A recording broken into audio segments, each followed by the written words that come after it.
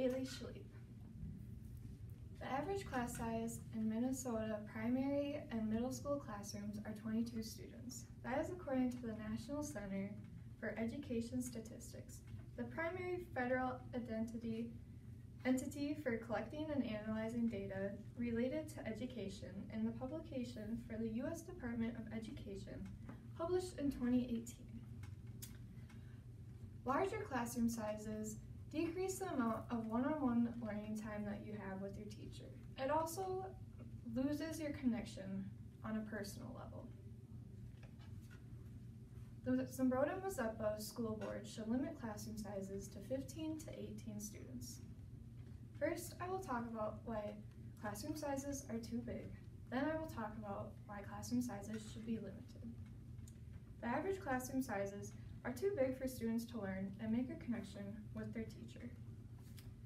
According to Stephanie Burrows, who has a doctorate in organizational change and leadership from the University of Southern California, in the journal from Association for Supervision and Curriculum Development published in 2021 states that in a poll in 2015 showed that only 39% of secondary students nationwide could show you a teacher that actually cared for them.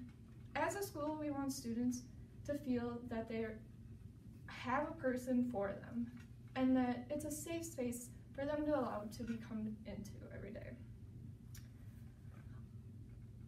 Smaller class sizes help more than just the students, it helps the teachers also.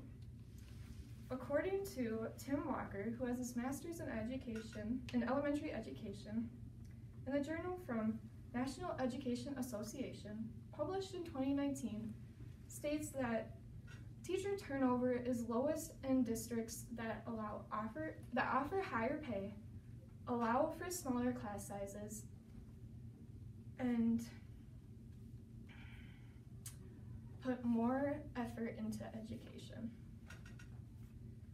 Now that we talked about why classroom sizes are too big, let's look at why classroom sizes should be limited. The average classroom size should be limited to 15 to 18 students. According to Charles Achilles, a former professor of education administration at Eastern Michigan University, from the American Association of School Administrators published in 2019, states that students in smaller class sizes obtain higher test scores, they have better behavior, and allow for connections to be made. I personally was a part of a class that was 30 students. I was the quiet one that sat in the back, and you couldn't tell that I needed help. I never voiced that I need the help. So allowing for smaller class sizes, it will give the teacher ability to help all types of students. According to Sabrina Kay, who has her joint doctorate degree in work-based learning and leadership from the University of Pennsylvania in the journal from Fremont University, published in 2021, states that students in smaller classroom sizes will get more thorough assessments of their papers and work. Also, faculty will get more time to read and give them the thorough assessment that they need. First, I talked about why classroom sizes are too big. Then, I talked about why classroom sizes should be limited. The Zumbrota Mazeppa School Board should limit the classroom sizes to 15 to 18 students. Allowing students to be taught in classroom sizes that are smaller than 22 students would allow for them to make personal connections with their teacher, increase their scores, and even allow them to have better behavior.